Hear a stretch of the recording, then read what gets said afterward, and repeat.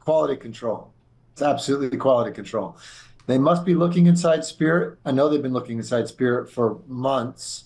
Um, my guess is they've looked inside and they just feel like they can't control quality well enough as an outsider. They used to own Spirit, not not as it looks exactly now, but they used to own, you know, those those facilities. Uh, it makes uh, you know, a majority of the 737 fuselage. It makes the front portion of the 787, two extremely important products. I think they've looked inside and they said, we can't control quality well enough from the outside. We got to buy this thing. Do we trust Again. Boeing to have the kind of quality control that Spirit needs? Boeing doesn't have a choice. Boeing's got to get quality control, or they got a major problem on their hands. And so, uh, I guess I think, as an owner, uh, I think it is the path, probably a, a good path forward. Uh, I I do think they will get the quality uh, issues in hand, but it's going to take some time. Uh, but they have to. They have, they have no choice. Yeah, I'm looking at the uh, the stock of Boeing, pretty much unchanged on the the news here. If, I think if I were an investor in Boeing, I would think I may or may it may or may not make financial sense to own this Spirit thing, but I would say it's probably the best way to move forward here. And, and I, when you talk to investors, George, yeah. How did, did they think that way? Uh, you know, I think investors you, you know, I, I, don't know that they you could say they all monolithically think that way. Um, I think if there if there could have been a way to keep it outside, not have to buy it, um, uh, you know, I, I, think they that probably would have pleased people more. I mean, there will be an unwinding required in this transaction, right? So Airbus is A320. Some of the components are made at Spirit. I'm, I'm imagining that Airbus is not going to be uh, interested in having, you know, Boeing as a subcontractor on their mm-hmm. airplane.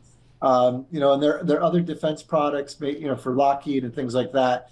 It's going to require some work to, I think, to unwind this thing a little bit uh, in order to, to, you know, in order to pull it inside of Boeing. Probably energy you would prefer not Boeing to spend, but again, I think yep. it, it's their most important products are flowing through Spirit, and Spirit's been a source of the problems in some of those mm-hmm. products lately. And if Boeing is going to much higher production rates, which is where they're going to generate the cash flow they need, the profitability they need, they've got to stabilize production. And I think you know they must have looked at it and said, we got to own it. And so if you're an investor, I think you're eh, okay.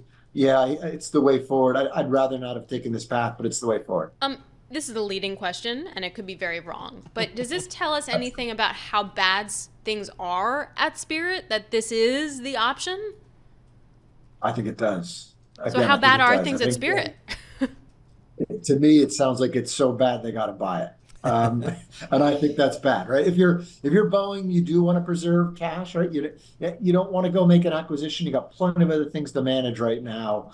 But uh, I think it means that yes, the, the turnover at Spirit's been bad. Uh, the quality control, I think that's led to the quality control problems. You want to have your hand in how those line workers are being managed, how the quality control is being handled. Um, yeah, I think it means it was really bad at Spirit.